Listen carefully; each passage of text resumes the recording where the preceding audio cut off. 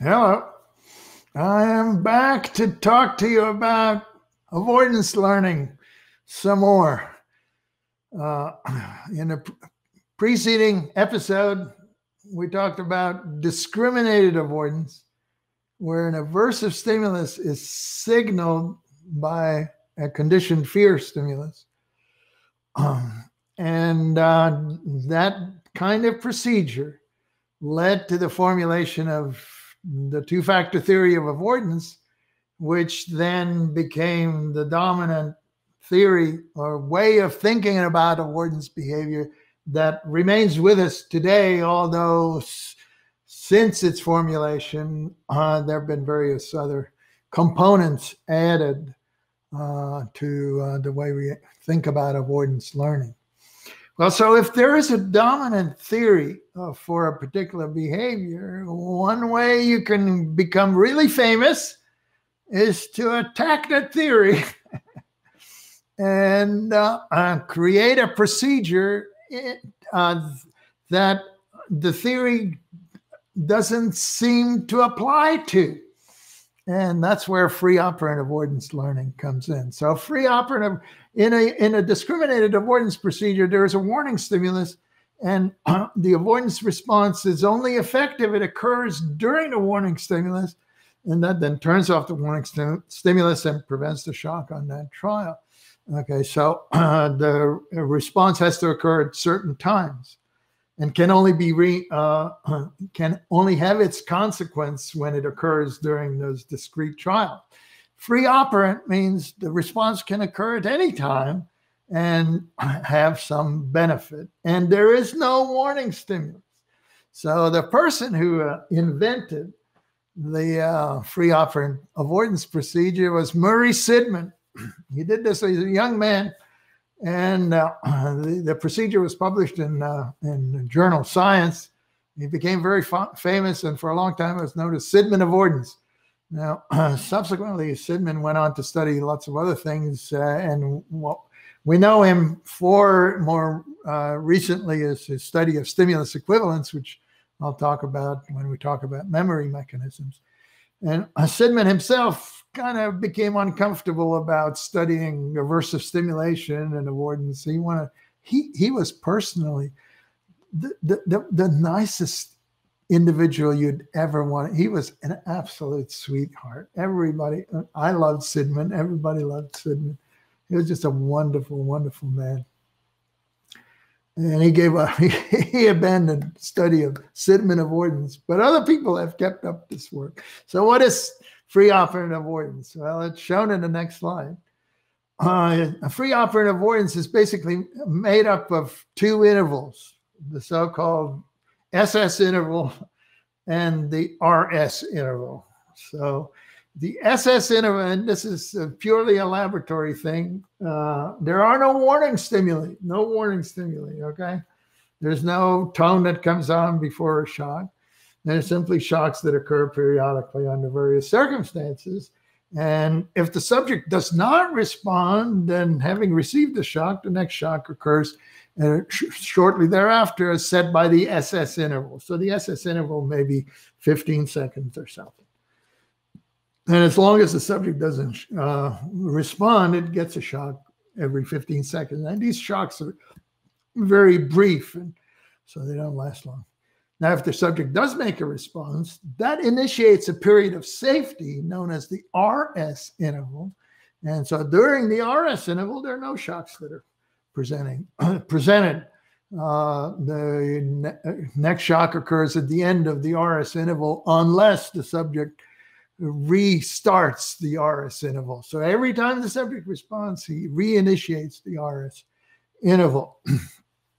so this sounds kind of crazy and why go through all this trouble and so forth and so on. And I hope I make it a bit relevant to you for you. Uh, um, but uh, one of the things you'll notice here is that in order to uh, uh work this correctly, uh, you have to be real sensitive about the passage of time.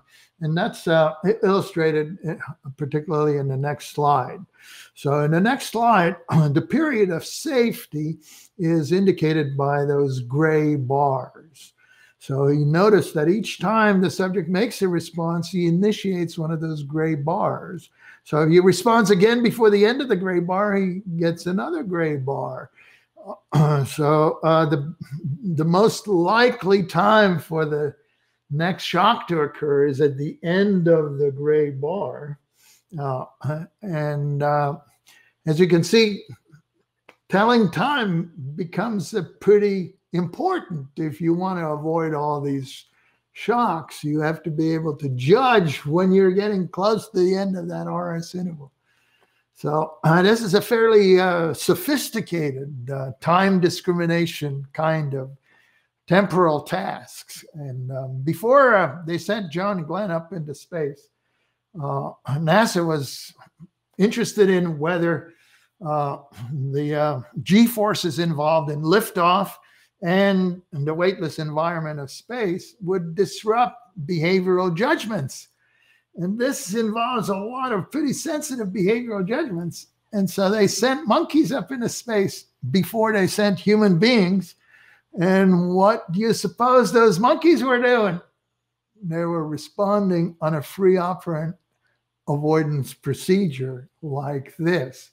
this was work that was supervised by Joe Brady, who was the head of the behavioral laboratory at Walter Reed uh, Medical Center anyway, anyway, they did a lot of Sidman avoidance kind of uh, work.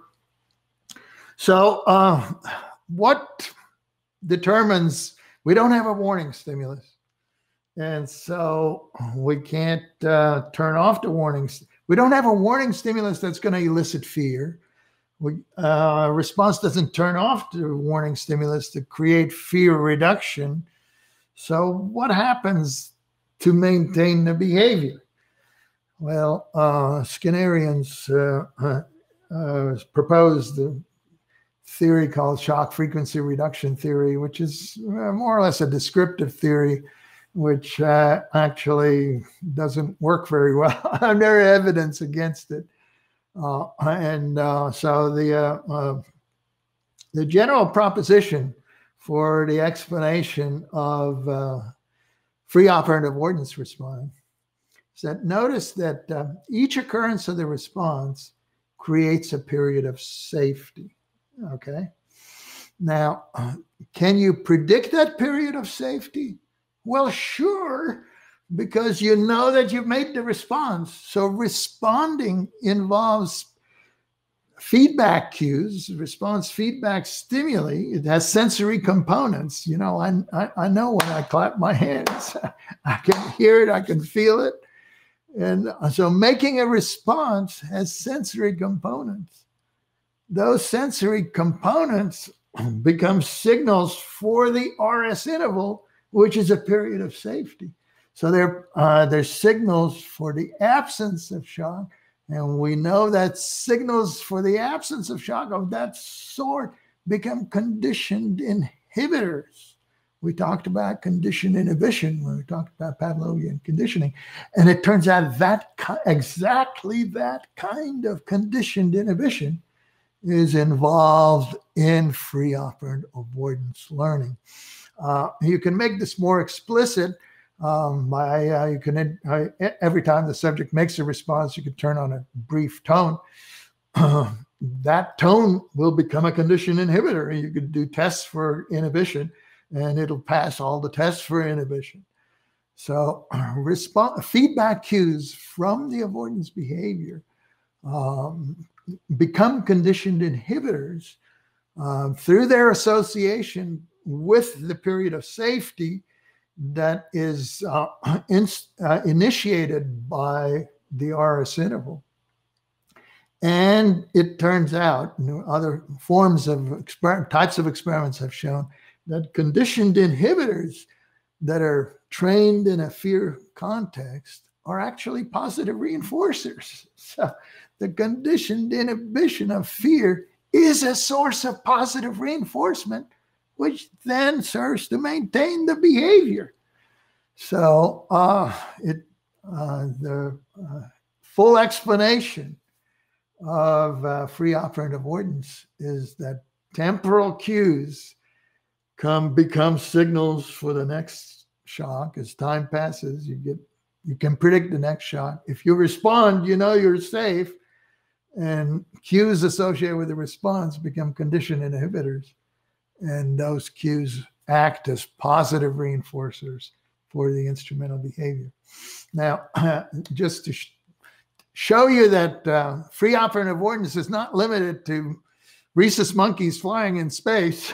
we're in the summertime here. I don't know when you're going to watch this videotape, uh, but uh, we're uh, in the middle of summer. And what happens in the middle of summer? People go to the beach and they go to the lake and they go swimming in the lake. And what happens to these people? well, most of them have a good time, but occasionally some of them drown.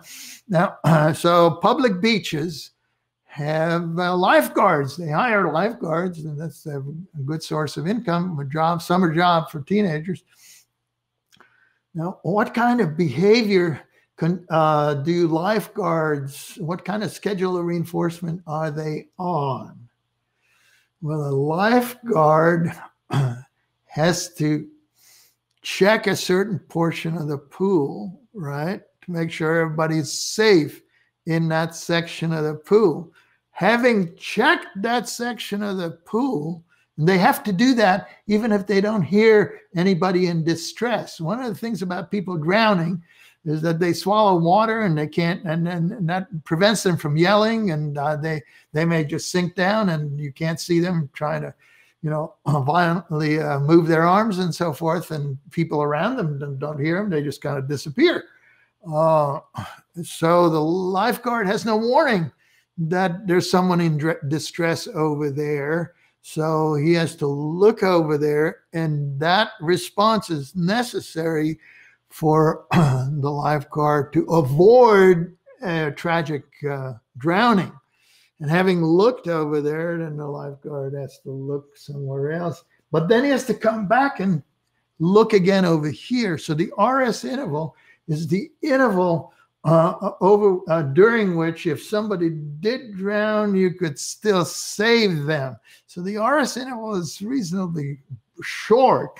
You don't have an RS interval of 20 minutes because if the lifeguard doesn't um, make the avoidance response by checking to see if everything's okay there in 20 minutes the person will, will have drowned so a lifeguard is having to make responses to avoid bad outcomes and he is having to make those responses in the absence of warning stimuli so it's very much like a, a free operant uh, avoidance procedure uh, cooking, uh, uh, you know, cooking pudding is like that. You have to keep stirring it. You don't have to stir it continuously. But if you haven't stirred it for a while, you better stir it again so that it doesn't burn on the bottom. Another case of uh, a free operant avoidance procedure. All right, so let's look at uh, our next, our last slide, which kind of provides a summary. Uh, last slide provides a summary of what's all involved in avoidance avoidance learning? Well, one of the things uh, I haven't talked about uh, yet is that uh, avoidance behavior, of course, occurs in a situation where you get aversive stimuli. And so during the early trials, when you're not successful in making an avoidance response, you're going to get the aversive stimulus. That's going to activate your defensive behavior system. And that's going to produce species specific defense responses like fleeing and fighting and freezing. And so you get a lot of instinctive defensive behaviors in uh, avoidance learning situations, especially early on. Now, later on, as trials are allowed to progress, you're going to get classical conditioning of fear. That's going to develop to a warning stimulus if there is one. If there is no warning stimulus, that conditioned fear is going to develop to temporal cues, the passage of time, the more time passes, the more likely you're going to get to the end of the RS interval.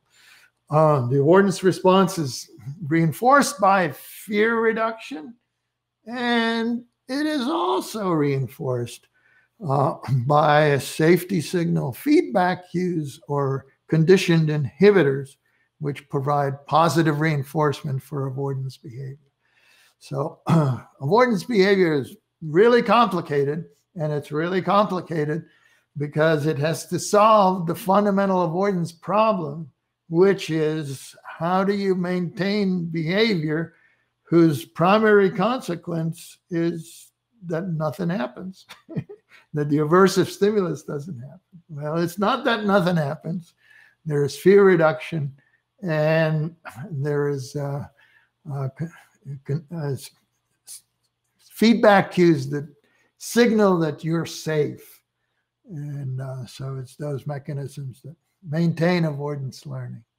So I hope your avoidance responses will be successful and that you won't have exposure to aversive, nasty things uh, to the extent that you can avoid them. Best of luck. See you next time.